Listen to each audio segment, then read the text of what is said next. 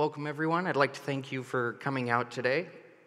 And if they're here, I'd especially like to thank the person that has the room next to mine for enduring with me and coming out after already hearing the presentation 30 times. This is the presentation, Performance Testing with AWS. If you're hoping for a different one, you're in the wrong room or I'm in the wrong room, stick around anyways. Have some good content coming up. My name is Justin, and I'm a FileMaker application developer with Codence. I'm also a first-time FileMaker DevCon attendee. And that's not necessarily by choice. It just happens that I'm fairly new to the FileMaker scene. I've been doing this for about a year, and one of the reasons for that is I am one of the alumnus from 42. It's something I'm excited to talk about, but I don't want to take away from the presentation, so feel free to ask me about it afterwards, or if you see me around the conference. Also, I'd like to share a personal detail about myself. I pay my taxes. I know what you're thinking. That's a weird personal detail to share at DevCon. What did he do to tick off the IRS? I'm talking about my internet taxes. However, I'm not a cat person. So I have ferrets. And Rosemary told me I was lucky. I had a baby two months ago, and you can never go wrong with a baby. So that's my family. Thank you. At the beginning, it said I was a FileMaker application developer, not a PowerPoint presentation designer. So when it came to creating this, I looked at a lot of templates, and most of them start off with a quote. So I decided to go ahead and include my favorite quote, which is, two things are infinite, the universe and human stupidity. And I'm not sure about the universe. It was Einstein that said that. I think it's perfect for this presentation because none of us are infallible. It doesn't matter how long you've been a developer, if you consider yourself an expert in the field, we all still make mistakes. And this presentation will help you with catching those mistakes before they become real world problems for you or your clients. I also want to kick off with something a little unusual. I want to sell you FileMaker, just like you came to me and said, hey, Justin, I want to take my business off of Excel. And I'm going to tell you, well, FileMaker's great. You can have the application on mobile devices, you can have it on the web, you can integrate with other services and databases. You can upload photos, videos, PDFs, and there's great reporting tools built in. It's going to be faster for you. You're not going to be switching between Excel documents and sheets trying to remember what page you put it on. And it'll be a better user experience for your employees. I remember working for a company where we did everything in Excel, and we tried our best to make it look like FileMaker. We had scripted buttons, conditional formatting. Somebody would come to me and they'd say, Justin, why is there not a total on this page anymore? And I would have to go in and look at it, and I knew exactly what it was. Steve, come on, how many times do I tell you, paste values only? Or somebody would come up and they'd say, you know, Justin, I get this column. Green numbers are good, red numbers are bad. What's a purple number? You dig in, you look at it, and cell should be purple if it doesn't contain absent. Come on, Steve. Also, you can control who has access to information and who can change it. And let's admit it, you have your own application for your business, that's just cooler. So you may wonder, why did I just sell FileMaker to a room of FileMaker developers? Well, the reason is if something comes up and we make a mistake, and our solution is no longer faster than Excel, well, I can tell you one thing it's definitely not cooler. So what have we been testing? We're doing load testing and data volume testing. And load testing is looking at how our FileMaker solutions are going to perform when we have multiple clients connecting and users are performing their daily tasks. But some solutions are bigger than others.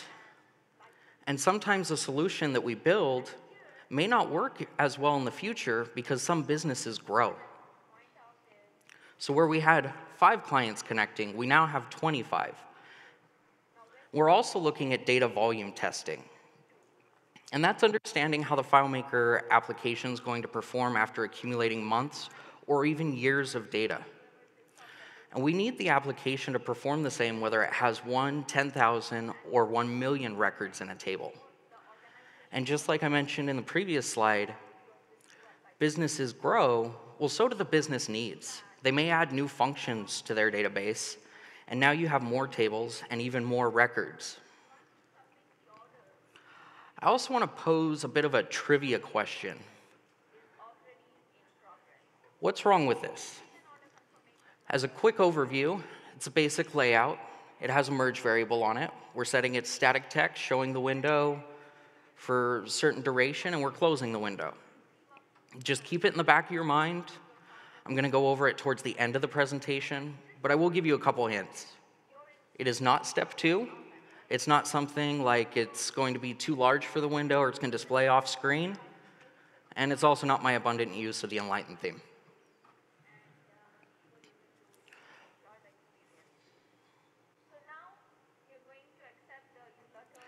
So to get started, we need to create an environment that we can log in.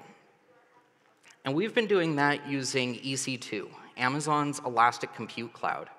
So we're creating virtual machines in the cloud that are highly configurable, and you pay for what you use. So this makes it great for testing. They're also elastic, which means they're scalable. If you have a system that's dual core, 8 gigabytes of memory, well, now it could be an 8 core with 64 gigabytes of memory. Amazon also has automatic scaling. If something is underperforming because it's using too much of the system's resources, Amazon will scale that up or back down as is needed. I bring that up because we're not using it in performance testing. We want to know how it's going to perform with our current configuration. And when it comes to testing for load testing, we're actually scaling out. Instead of building up a system, we're adding systems to our configuration to perform those tests. So to do that, we need to configure an EC2 instance with FileMaker Server, and we also need to configure an EC2 instance with FileMaker Pro Advanced that will serve as our clients. And when we're configuring those, we're doing it to mirror our production environment. So we want to make sure that it's the same as what our client plans to use, whether it's a physical in-house server, if it's in a data center, or even if they're using AWS and FileMaker Cloud. And when we're looking at this configuration, we're looking at things like the CPU, the processing power, both its clock speed, how fast it runs, and how many logical cores. With memory, we're looking at capacity. Does it have 8 gigabytes of RAM, 64, 128? And then storage, we're looking at type and speed. Is it a solid state drive, a hard drive? Are they in a RAID configuration? And finally, with network, we have tools available like a bandwidth limiter so we can match the speeds of our client's configuration and there's also third-party tools that you can use to introduce latency if you need to test that. I also want to point out that with the network, we need to configure a static IP. We want all of our clients that are testing the database to be able to reach it at the same point. And the way we do that is with EC2 instance types. The two that I use the most in performance testing are general purpose and compute optimized. So general purpose has a good balance between processing power, memory, and network resources for applications that require moderate usage. And compute optimize has high performance processors that are better for compute intensive workloads. Some of the other instance types are memory optimized, which has more memory per processor and overall allows a higher memory capacity. And there's even instances that allow you to run in-memory databases. Accelerated computing combi combines a high performance processor with a graphics card. This allows tasks such as machine learning to be performed. And then storage optimized, we can choose low latency solid state drives that allow a high throughput and a high random input output or read write. Or if you need high capacity, you can get ones with physical hard drives attached to the virtual machine to allow high throughput. I want to point out that we also need to make sure we're choosing the right instance for the clients that we're testing with. If your client has only old machines that meet the minimum specifications of FileMaker, then we need to do that same configuration as well. If they do a mix and match, everybody has their own computer, some Mac, some Windows. Usually I'll test using the recommended specifications for running FileMaker Pro Advanced. Some of the advanced configuration that we do is IAM roles. So that's allowing permissions to access your EC2 instances.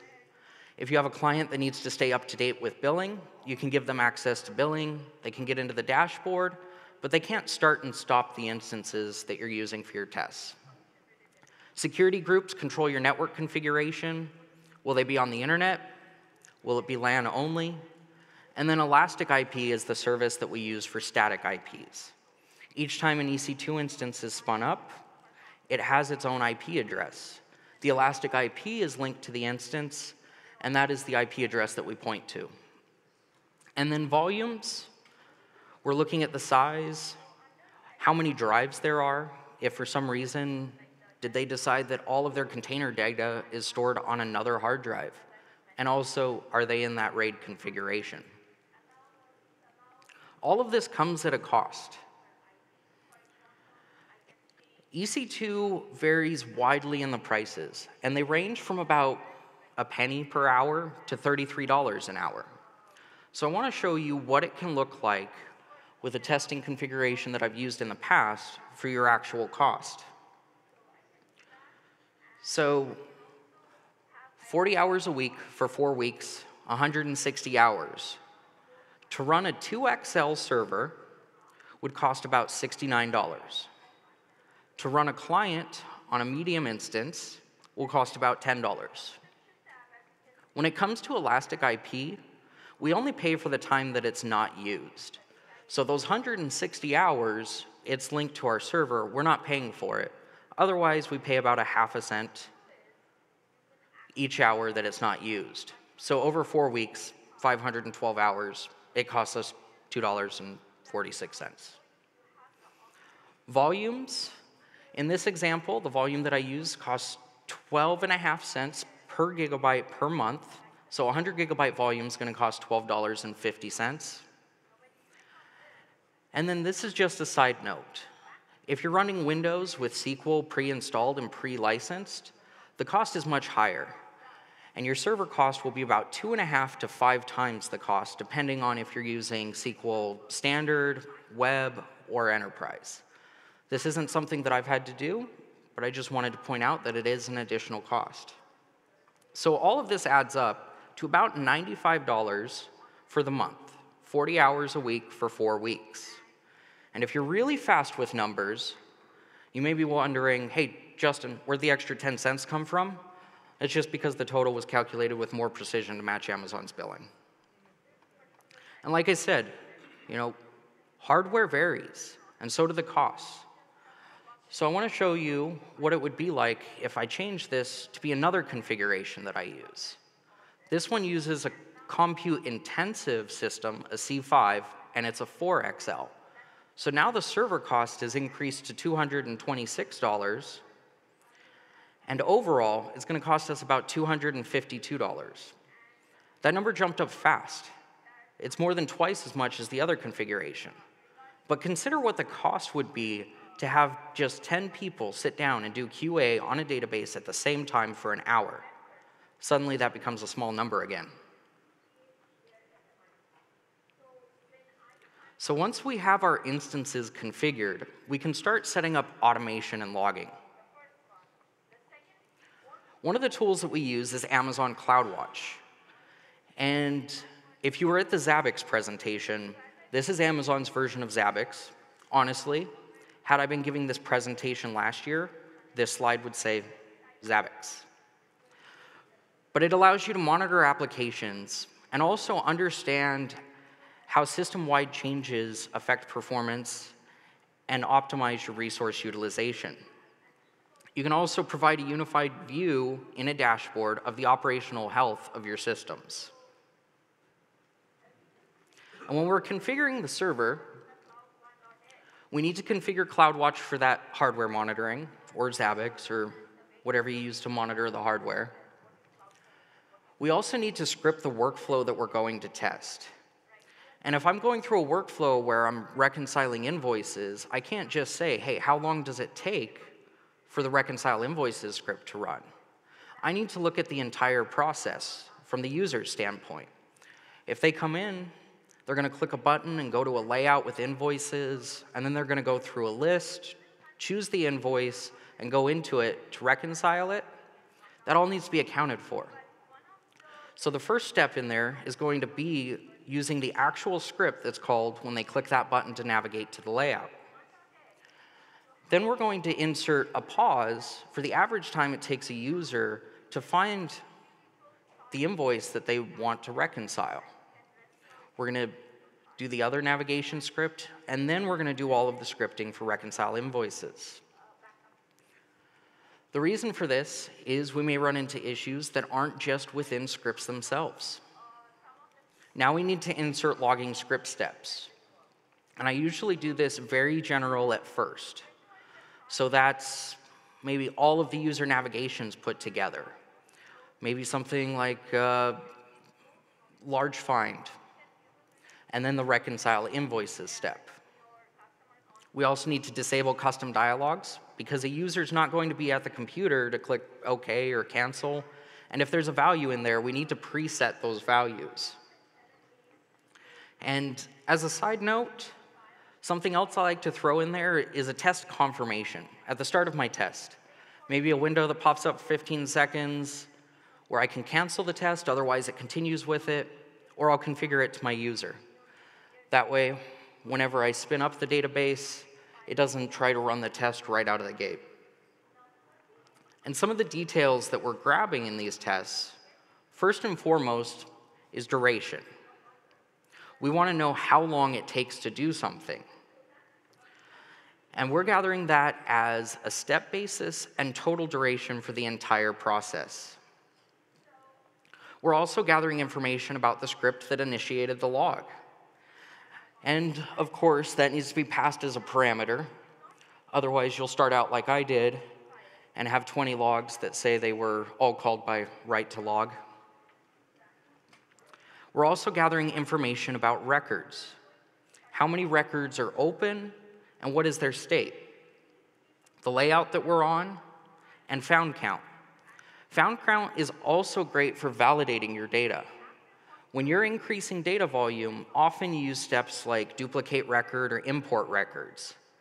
And if we're running a test, we don't want 500 line items linked to the record that we're using in the test if it normally only has five. And gathering information about found count will help you find that quickly if there's something that you've missed. I also want to talk about the observer effect. So, the outcome of an experiment is inevitably altered by the act of observing it. I think a great example of this is if you think about an electron in superposition.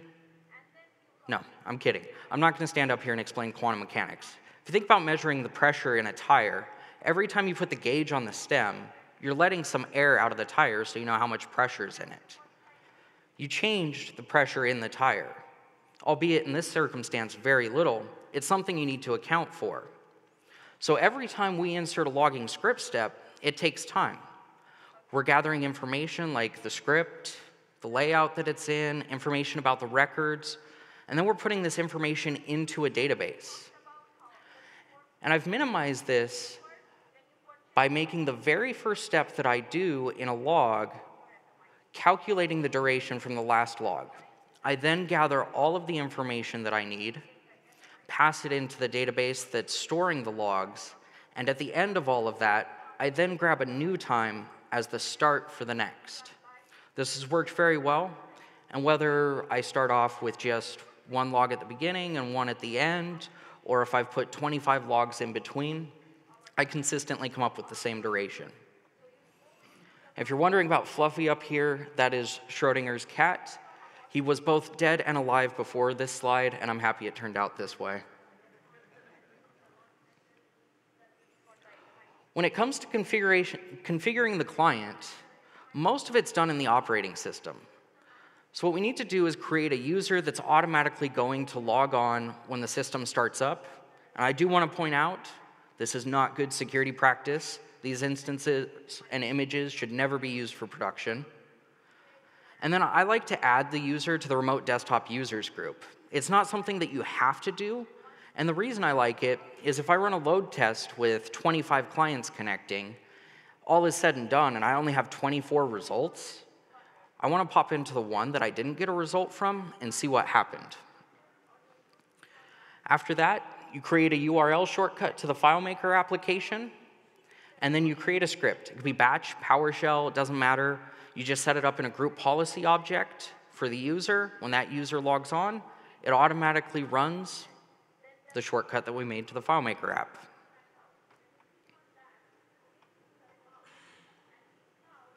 Now that we've set up the client, we need to create an image of it.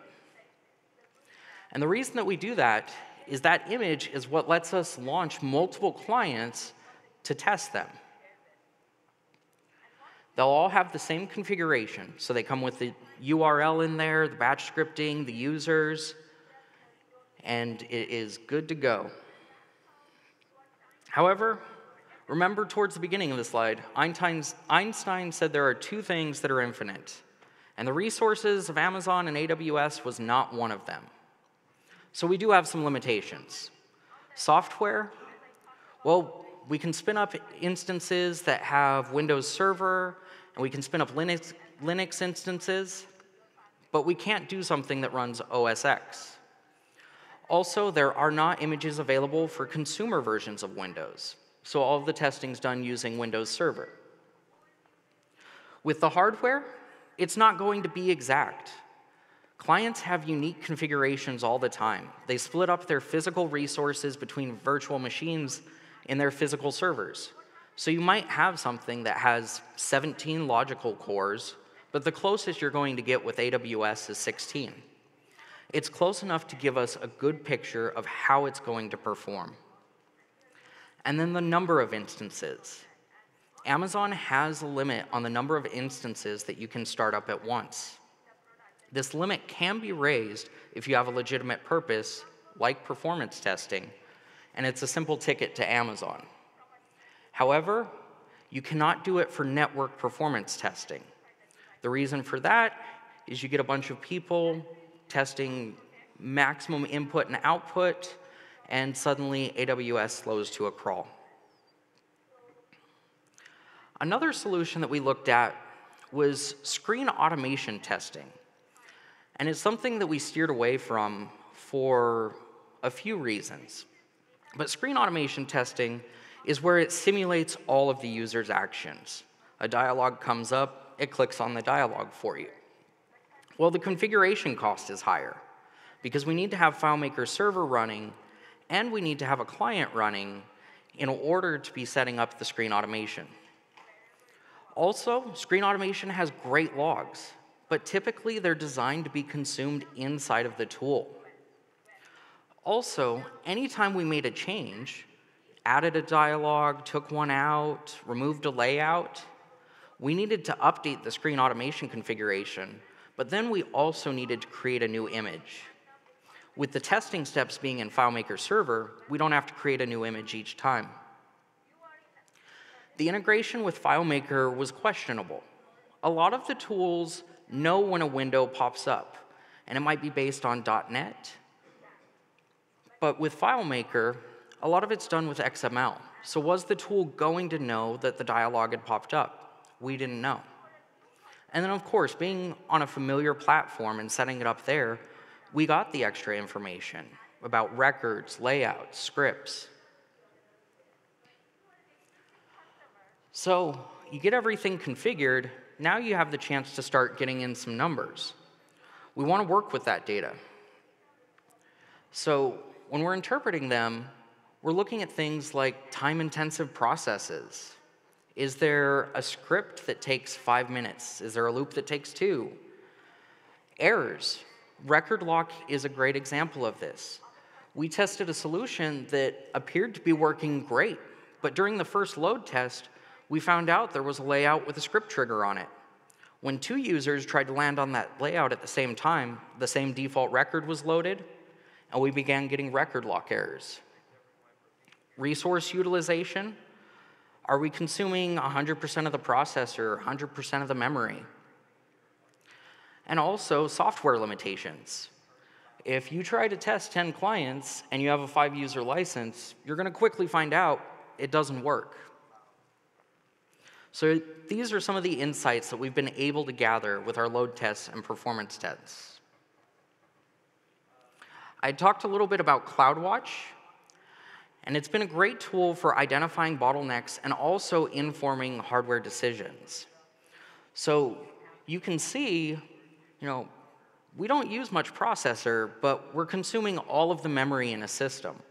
We now know that's the problem. We need to look at something to increase the amount of memory that we have. But we can also use this to inform hardware decisions. In one case, I had a client that was concerned about performance in one of their FileMaker applications and considering upgrading their database, or sorry, their server. These numbers are somewhat representative of what we found. When they were running their solution, the server wasn't really being taxed.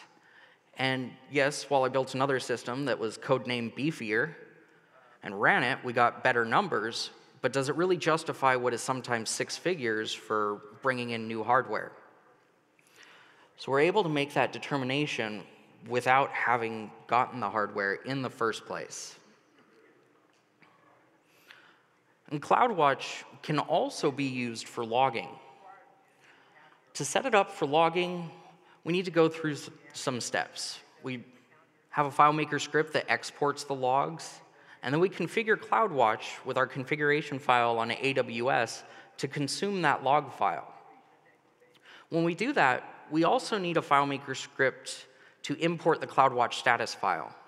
The reason for that, CloudWatch grabs so much of a log at a time, and it'll never grab more than that. With FileMaker 18, this isn't so much a concern because now we can append to files, but we didn't want to overwrite and lose some of our logs. We were then viewing logs in the CloudWatch web interface, and really for data analysis, we were exporting them to other tools. So while you can do logging directly within CloudWatch, we are FileMaker developers. And that's what I've switched to. I do my logging in FileMaker now, so I can collect logs and display additional information that gives me and my team a better insight into what we're seeing. And like I said, with the extra steps that we have, seeing everything, you know, this script called this log so many times, it's helpful. Of course, we can develop custom views. So, what I present to my team as a finding isn't necessarily what I'm going to present to a client. I'm going to give them something that's been cleaned up and is easier for them to consume. And comparisons has been a great tool as well. With that, I may make changes as I go along. Has navigation been a bit slow? Maybe I'll try a layout that doesn't have objects on it.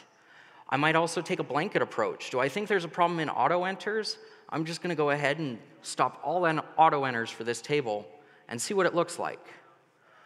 And looking at the numbers side by side, I can help get it narrowed down. In FileMaker, I've also begun using the Amazon EC2 API. This allows me to run my tests without ever leaving the FileMaker logging solution.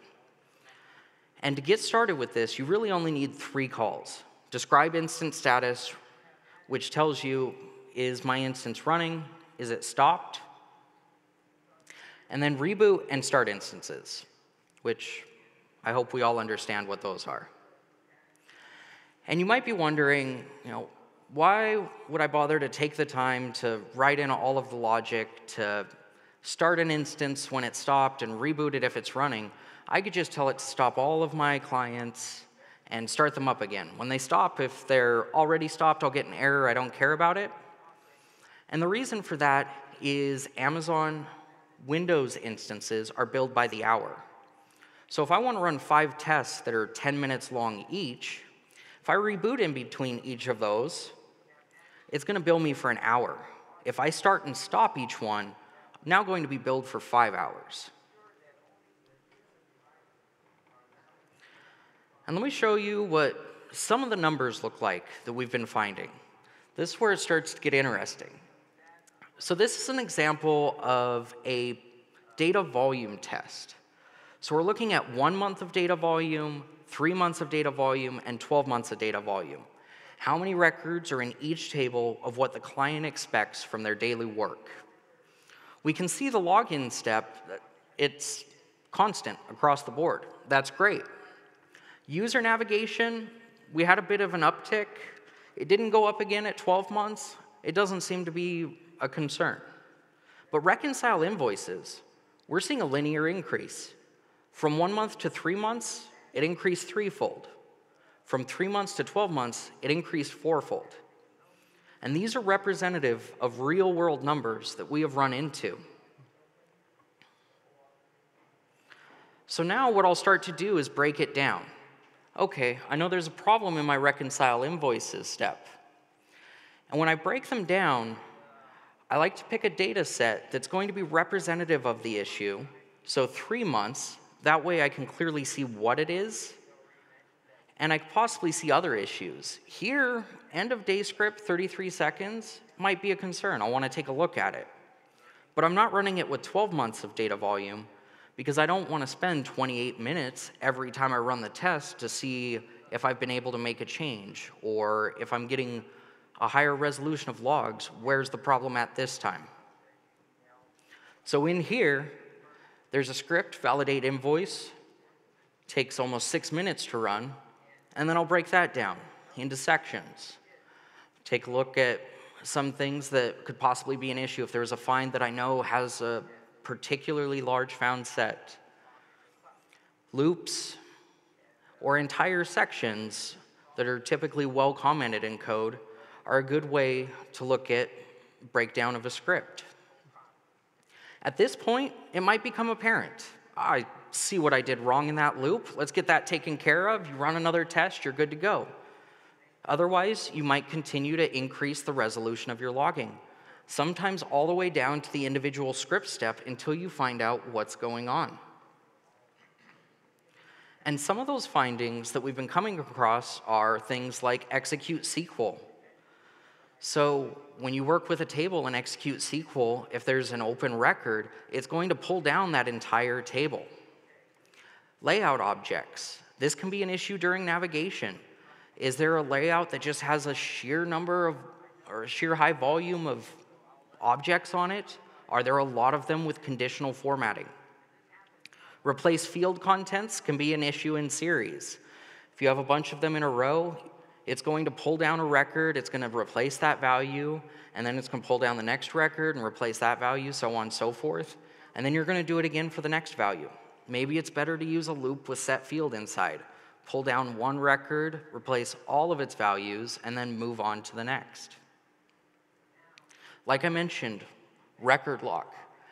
It is crazy some of the places that you will find record lock in. And then another area is auto enter and calculations. Sometimes you have tables that just have a very high number of calculations going on. And if you're continuously making changes, they're going on over and over again, especially if they have execute SQL in them. Combine those two, and you can really slow down a database.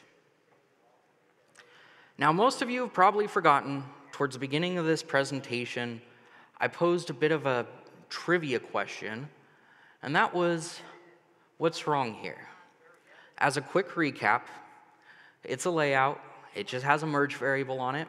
We're setting a static text string to that merge variable, opening up the window as a card window, displaying it for a few seconds, and then we're closing the window.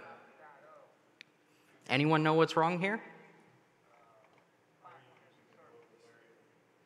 Hmm?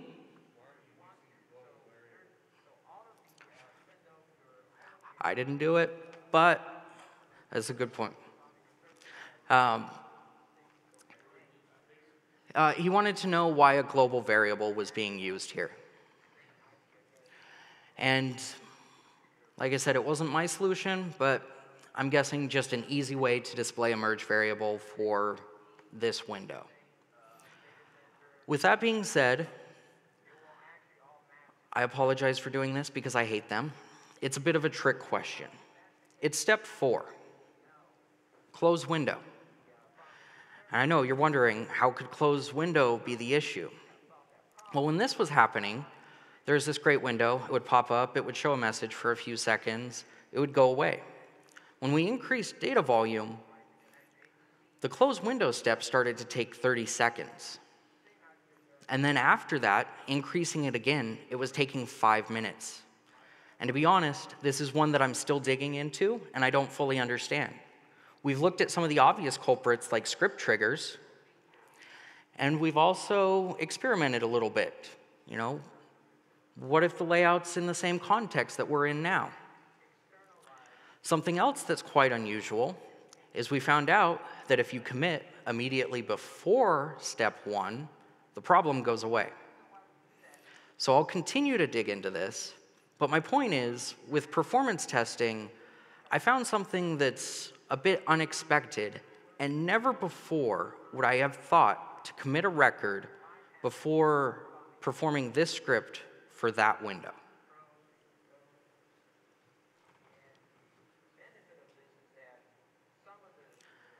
And I was told time and time again there would be lots and lots of questions. So I tried to leave a good chunk for it, and I threw an extra five minutes on. Any questions?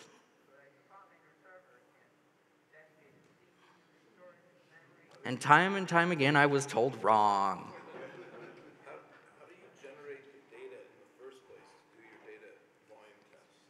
Okay, so the question is how do I generate the data in the first way to do the data volume tests?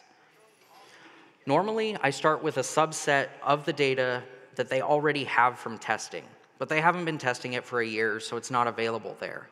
And depending on the data, I'll look at something like taking that subset and maybe taking a thousand records from it and bringing them in repeatedly over an import or by duplicating the records. And that's why I mentioned that it's important to sanitize your data because you may have something linked to something else that shouldn't be. But really, you only need a few of those records to be sanitized to properly perform your tests. Yes? Chuck. Um, the the automation aspect and floating this out onto Amazon is uh, something that we've been playing with also. A slight adjustment that we've done to this type of model is uh, in, the, in the database file itself, uh, we often have what many people use, a one record uh, file for, or, or table for setting system-wide things and so forth. And a lot of times what we'll do is when we spin up these instances, the automation is going to launch the application and then immediately throw it into a loop looking every five seconds perhaps on all the clients for a checkbox to go into that one record file on the server. And that allows us to kind of toggle that on and activate the serving of these uh, you know, 25 workstations in the cloud, but also to sit there and say, let's, let's check that box off. Everything goes back dormant for a second. We can adjust the RAM. We can play around with some other server logging uh, or configuration settings, and then hit the checkbox again and resume testing in that respect. So you can kind of turn off and turn on the testing across multiple clients all at once without having to run around to 20 desktops or restart the entire thing from scratch. Okay. Uh, that's good information, and uh, I do use a bit of a one record myself uh, with configuration for the logs that have some parent information like a test description, and then the logs go into that particular test, and it's also what holds or gives it information about the total duration that's going to be stored and information like that.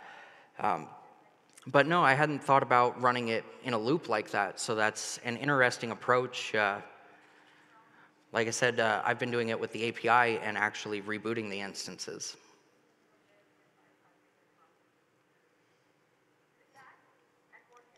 Any other questions?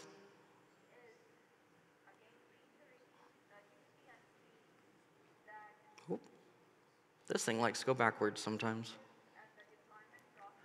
All right. Oh, go ahead. Have you, have you ever tried, um, instead of commit, go to field? If, have that been a diff, uh, different speed? Because I see sometimes when, um, that go to field, it lets go the record, and then you can do that card. Does that work better than the commit? It's not a step that I've tried, uh, and we actually have, you know, a few other ideas. You know, what about if we base that window off of a table that basically has no fields in it, things like that.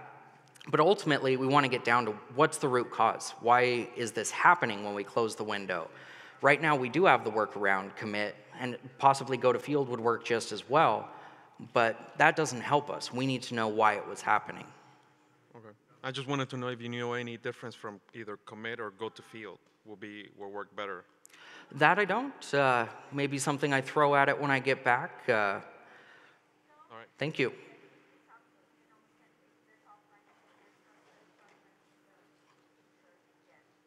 All right. Well, I want to once again thank. Oh, we've got another question. Just one, one per slide, I guess. Actually, not so much a question, just another observation and some performance enhancements that can come up, uh, especially when you're in loops creating a lot of records or need a lot of uh, records created, that it's actually easier, quicker, much more performant to just create an array of all your uh, data, export that, import it in, especially if you have auto enter options, turn those off on the import, create all those into your array. It's just a direct import and it's exponentially faster. Yep, that is true. And uh, we've worked in a couple solutions that are set up that way while testing them.